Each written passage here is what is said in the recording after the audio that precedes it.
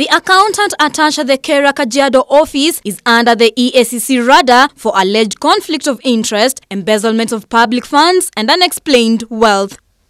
In the probe, the anti-graft watchdog has seized her 13 title deeds with an estimated value of over 100 million shillings. The properties are scattered in various towns including Kiambu, Nyandarua, Naivasha, Makueni and Kajiado.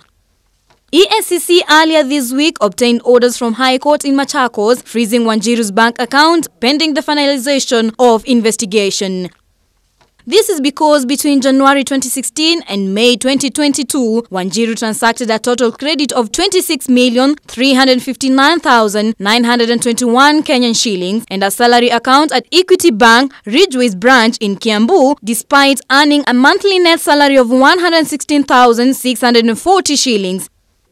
EACC believes that the bank account is being used as a conduit for depositing and transferring proceeds of corruption at the Kenya Rural Roads Authority. Wanjiru will also be required to explain how several private companies registered through proxies and relatives had dealings with KeRRA.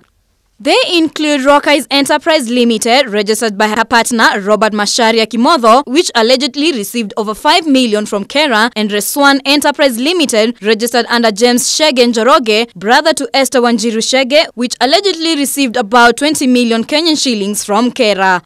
Apart from the two, other companies operated by Esther Wanjiru Chege as a signatory to bank accounts of said companies that have traded with her employer and received payments from KeRRA include Kayatek Enterprise Limited, Reswan Holdings Limited, and Resro Holdings Limited. Together with her partner Robert Macharia Kimotho, they are said to operate a school bank account under the name St. Sharon Secondary School where money is sent from their company accounts to and before it's transferred to their personal accounts and M-Pesa. If the suspected culpability is confirmed, EACC will see criminal prosecution of the sus in addition to forfeiture of any corruptly acquired assets to the state. Reporting for Ebru TV, I'm Beryl Shienzi.